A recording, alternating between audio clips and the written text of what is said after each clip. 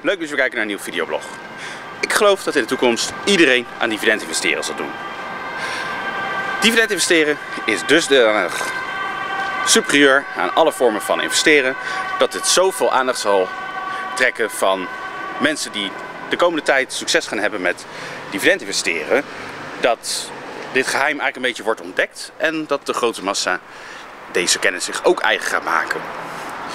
Natuurlijk is het nog niet zo ver. En natuurlijk is uh, dividend investeren nog heel erg jong.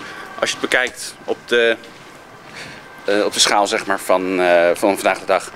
Maar zie je wel dat dividend investeren al steeds grotere vorm begint aan te nemen. Een reden hiervoor is dat het tegenwoordig ook gewoon veel makkelijker is om aan dividend investeren te doen.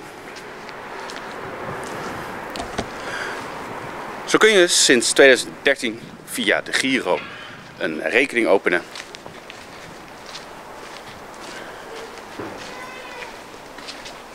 En op hele makkelijke wijze kun je dan ook uh, ja, dividend investeren doen. En dat kon voorheen nog helemaal niet. Toen was het uh, ja, vrij lastig, vrij kostbaar om een rekening te openen via een uh, broker. Je had wel de Binkbank. In 2004 zijn die gestart. Maar die waren extreem duur en um, ja, ook toen was de kennis nog niet zo wijdverbreid rondom dividend investeren. Je ziet dat de interesse voor passief inkomen en daarmee dus ook voor dividend investeren enorm toeneemt.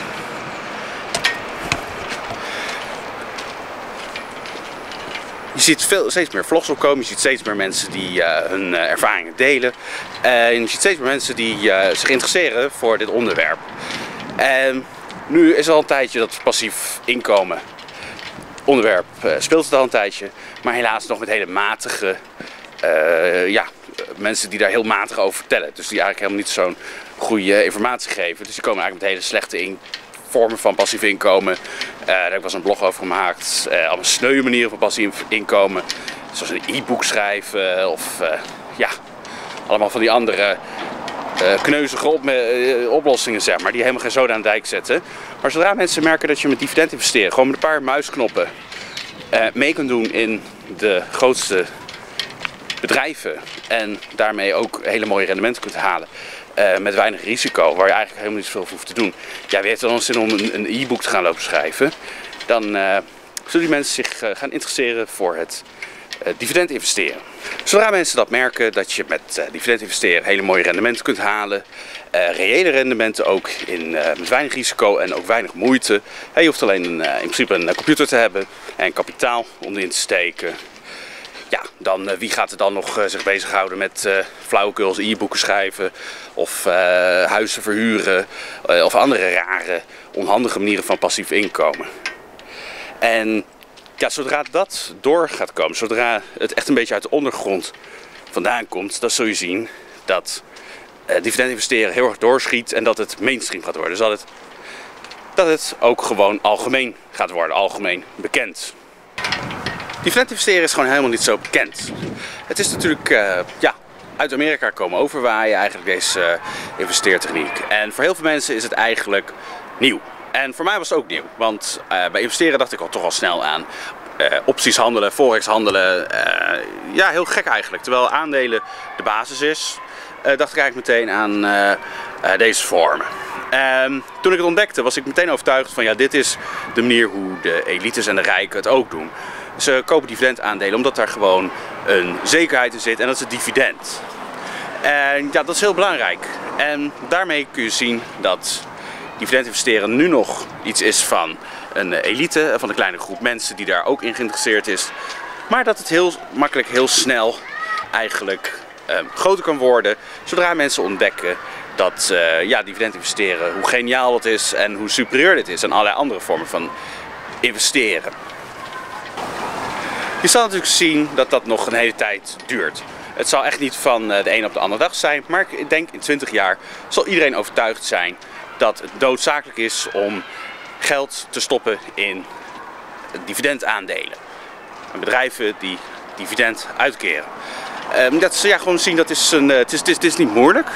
Het is eigenlijk vrij eenvoudig. Je kan met een paar muisklikken kan je gewoon een rekening openen. En dan doe je mee. Dan kun je gewoon meedoen. Hoef je helemaal niet talent voor te hebben. Hoef je helemaal niet leuk te vinden. Hoef je helemaal niet geniaal voor te zijn. Ehm, ja, je moet alleen een aantal geniale kenmerken eigen maken. Maar als je dat lukt, dan kun je gewoon meedoen. Dan is het eigenlijk een, uh, een fluitje van een cent. En dat is het leuke ervan. En dat is het mooie van dividend investeren. En ik weet zeker dat dat heel erg succesvol gaat worden. Want ik zie nog maar al te veel allerlei goeroes en mensen die mensen zogenaamd allerlei uh, ja, uh, verhaaltjes toe praten. Zoals er laatst zag ik een Jordan Belfort van uh, de Wolf of Wall Street, de grootste oplichter die we zo'n beetje hebben gehad in de aandelenwereld. En die ging een lezing geven en over hoe je succes moet hebben en dat soort uh, flauwekul.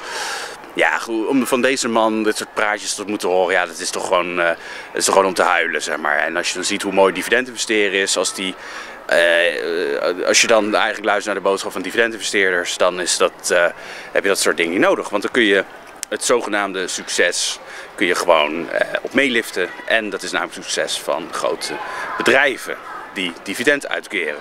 Ja, blijkbaar anno 2019 de trappen mensen daar nog steeds in. En dat soort uh, succesverhalen of dat soort stappenplannen voor succes. Maar wie heeft dat nodig als je al succes kunt hebben met kleine moeite en gewoon gelukkig kunt zijn. Leven van je dividendinkomsten.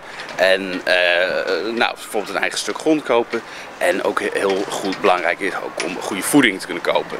Want dat is natuurlijk ook een doel van uh, dividend investeren. Is dat je met je inkomsten dingen kan doen die goed voor jezelf zijn. En dat mis ik een beetje bij al die andere, die hedendaagse goeroes, die uh, vertellen allemaal verhalen die vooral heel leuk zijn voor hunzelf en niet voor de mensen die er naar luisteren. En dat is mooi met dividend investeren, daar heb je dat niet bij. Daar uh, is het allemaal voor, uh, hè, als ik ook in de groep wel zie van dividendinvesteerders, dan, uh, ja, dan zijn we het niet altijd eens. Maar het geeft hem niet. Iedereen heeft zo een beetje zijn eigen variant. Iedereen heeft zijn eigen instapmoment. En ja, dat is eigenlijk het leuke. Je hoeft niet, er is niet echt een, een waarheid. De enige waarheid is dat je ja, dividend investeren moet doen. En dat je dat volgens een aantal ja, kernwaarden moet volgen. Maar je kan er gewoon in afstappen. Hè? Als iemand tegen me zegt van nou ik ga dit aandeel verkopen, dan kan ik zeggen ja, zonde. Maar goed, ja, als het jouw moment is waarop je wil uitstappen en een ander aandeel, dividendaandeel wil kopen, ja dan is dat helemaal prima. Dit is allemaal niet zo...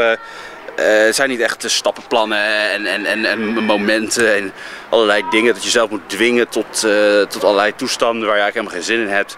En allerlei uh, ja, de, de grenzen opzoeken en zo. Dat, dat is helemaal niet nodig. Het is gewoon het is heel simpel. De, eigenlijk de basis is heel simpel. En daarom denk ik dat het in de toekomst heel succesvol gaat worden. Want het is eigenlijk ja, succes zonder dat je er heel veel moeite voor hoeft te doen. En dat is wel wat mensen aanspreekt. Het is best wel lui, je hoeft er ja, helemaal niet de deur voor uit, je hoeft helemaal niet veel te doen. Je moet alleen geld instoppen en je moet geduld hebben en een paar andere basisvoorwaarden. Maar het is niet iets ingewikkelds, zeg maar. En ja, daarom denk ik dat dat in de toekomst ook een, een hele grote, belangrijke factor gaat worden. En dat, dat eigenlijk op een gegeven moment dat iedereen vanzelfsprekend in dividendaandelen zit. Omdat iedereen gewoon snapt van ja, dit is een, uh, dit is een slimme manier om kapitaal te bewaren, om kapitaal te vergroten, om inkomen te krijgen, passief inkomen ook. En ja, daarom geloof ik dat in de toekomst het, het vanzelfsprekend wordt. Dat dividend investeren gewoon iets is als dat je een, vroeger zeg maar een brievenbus aan de deur had. Ja, vanzelfsprekend, want je moet post ontvangen. En in de toekomst wordt het vanzelfsprekend, want ja, je moet dividendaandelen hebben. Als je die niet hebt, dan uh, ja, het is gewoon een beetje dom. Dat, uh, je kan ook geen brievenbus hebben, maar dan valt je post op de grond, dan wordt het nat en onhandig. En hetzelfde met dividendaandelen. Ja, je kan wel geen dividendaandelen kopen, maar ja, dan moet je heel hard werken voor je geld. En dan al het geld wat je hebt, ja, dat, dat, wordt niet meer. Dat, uh, daar komt niet nog meer uit. Dat blijft stilstaan door de inflatie. Dus ja, dat is dan wat ik denk voor de toekomst. Ehm, dividend aandelen, dividend investeren gaat uh, groot worden, gaat uh, algemeen worden. Ja, over hoeveel jaar? Nou goed, uh, ik denk een jaartje of twintig dat het, dat het zo langzamerhand wel ingeburgerd zal raken bij nou ja, een deeltje van de bevolking. En misschien over 50 jaar dat iedereen dat dan doet. We, we, gaan het zien, dankzij internet en dankzij eh, laptops en computers en eh, mobiele telefoons is er gewoon heel veel mogelijk. Het gaat allemaal makkelijk. Kost ook allemaal niet zoveel meer uh, als je vergelijkt met vroeger. Mijn moeder legde dat nog uit vandaag. Ehm, ja, ze, had, ze werkte vroeger bij de bank en kochten de mensen ook al aandelen. Maar dat moest allemaal met de hand, kostte veel tijd, was echt mensenwerk en het kost ook maar één dag of één moment op de dag kon dat. En ja, dat zie je wel dat dat tegenwoordig veel beter is en dat daarom het ook niet zo moeilijk meer is om dividendaandelen te kopen. Nou, dat was voor vandaag. Wil je meer weten over dividend investeren, volg dan Facebook. Onze groep heet Dividend Investeerders. En daar plaatsen we nog veel meer interessante berichten rondom dividend investeren. Bedankt voor het kijken en graag tot de volgende keer.